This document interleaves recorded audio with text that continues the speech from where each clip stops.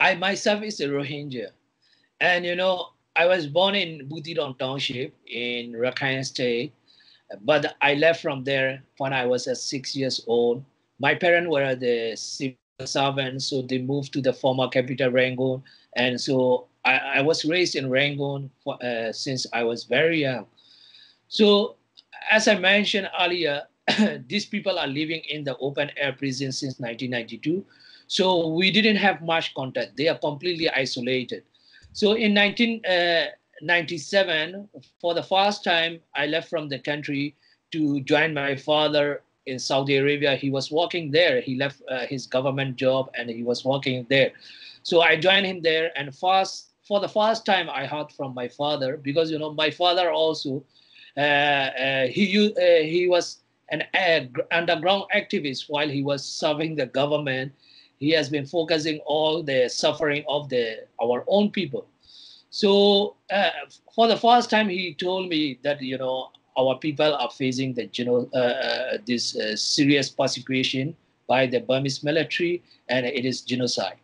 So and also I have read uh, a few book, uh, a few report there, and you know like we have no, when I was in Rangoon, I, I, I, could not hear anything from them because, you know, that there were no uh, uh, telecommunication and they, they didn't even have the landline phone there at their home. You know.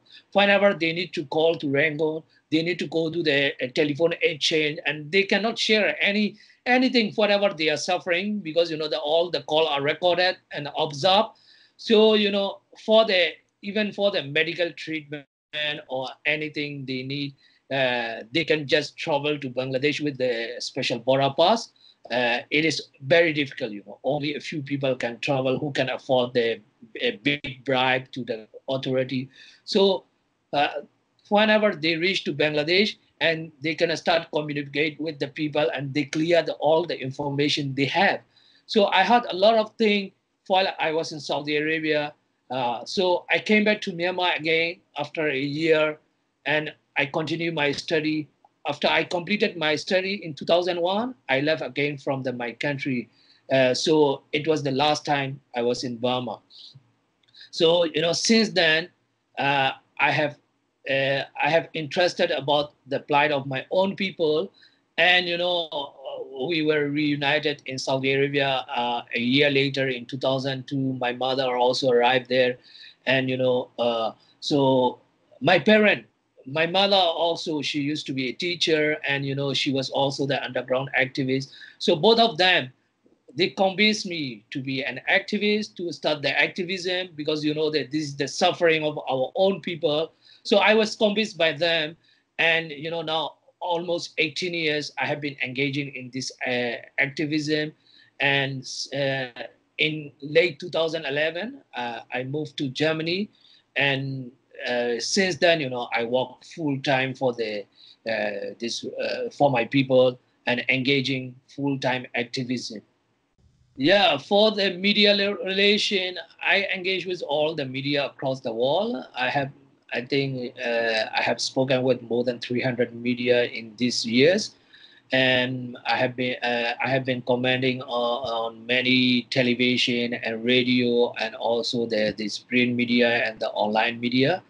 So, like you know, the all, all the time I'm uh, whenever uh, the media, you know, they ask me the question, I give them the comment, and also like there are several hundred of Rohingya uh, uh, uh, are Rohingya detained at the Jeddah detention center in Saudi Arabia. they have been detained for more than five, six years now. So I, I have launched the campaign since the past two years for for their release. Still not yet success, but you know, I have uh, raised this issue with the, uh, uh, all the media across the world in the different languages. So uh, I mostly I act as a spokesperson for the Rohingya. Oh yeah, motivate. You know, like they are my own people. They are my blood. You know, so as I know how to use the technology, and as uh, you know, the most important is how to use the social media. So I use the social media, and you know, I, am only one person, uh, you know, uh, in the Rohingya community. Let's say first person uh, who had, uh, you know, the social media account with the verified pages. So th- those account, you know, were mostly focused by the journalists and the, you know, the other people who are interested in the cause. So, so I um, all the time I engage on the uh, social media and you know the the people who are now in Bangladesh and the Rakhine state, they always send me the information and you know ask me to raise this on the social media or the blog or the you know the race with the uh, official. So this always you know they are encourage my uh, encouraging my work. These things are motivating me. So while doing so, I have also got the attack by the Burmese military and the government. I was uh, publicly attacked by the uh, this uh, you know the Aung San Suu Kyi office, state counsellor office, and also the presidential office, state media, the private media in Myanmar, because you know all the media in Myanmar are against the Rohingya, and they have attacked me publicly. And you know, I have also received many death threats from the uh, Burmese Buddhists who are, you know, the majority of the Buddhists in Myanmar. They are completely, uh, you know, they're opposing the this Rohingya. They don't really like. They are always saying, you know, kill all this Rohingya. So they always send me the death threat through the, my Facebook Messenger or the Twitter direct message that you know they want to kill me. If they see me anywhere, they uh, they would kill me. So one side, you know, my people are always encouraging that motivate me. On the other side, you know, I received the threat from the Burmese community. Uh, one thing I want to, uh, what I want to add, add is, the UN described that we are stateless people, but we are not stateless. We belong to Arakan state, now known as the Rakhine state, western part of Burma. Arakan was independent kingdom until 1784 in 1784, the Burmese king occupied it and it became part of Burma. So we belong to the Arakan state. We are indigenous ethnic group of Arakan state. We, we are not stateless.